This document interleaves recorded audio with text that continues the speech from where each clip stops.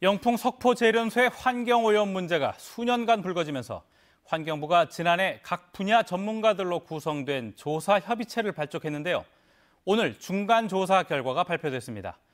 공장 안과 밖의 지하수에서 1급 발암 물질인 카드뮴이 최고 1,600배 초과 검출됐고 오염 물질의 유출을 막는 공장 차수벽도 제 기능을 하지 못하고 있었습니다. 엄지원 기자가 취재했습니다.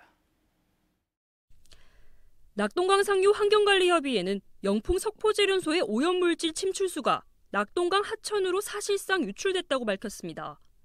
공장 외부의 지하수에서 카드뮴 농도가 32.75mg/리터 최고 1,600배 초과 검출됐고 공장 내부에서도 최고 110배 초과 검출돼 오염이 심각했습니다. 원인은 허울뿐인 차수벽이었습니다. 영풍이 차수벽 사이에 시멘트 같은 충전재를 넣어 침출수 유출을 막아야 하는데 조사 결과 대부분의 차수벽에서 이 충전재가 아예 없거나 극히 소량만 발견됐습니다.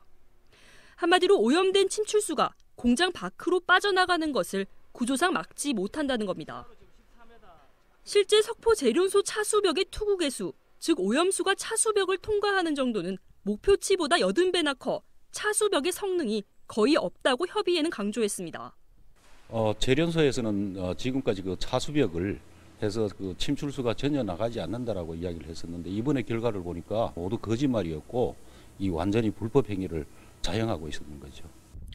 또 석포재련소 공장 부지를 기점으로 낙동강 상류보다 하류의 수질에서 카드뮴 농도가 평균 27배, 물고기 몸에서도 역시나 하류에서 카드뮴이 10배 높게 검출돼 여기서도 재련소 영향이 확인됐습니다. 낙동강 상류 환경관리협의회는 내년 말까지 주민 건강과 수생태 산림까지 7개 분야 조사를 마무리하고 오염에 대한 영풍의 영향 범위와 기여율을 밝혀낼 예정입니다.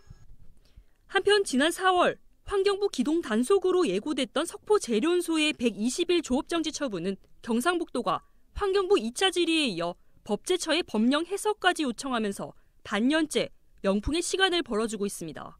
MBC 뉴스 엄지연입니다.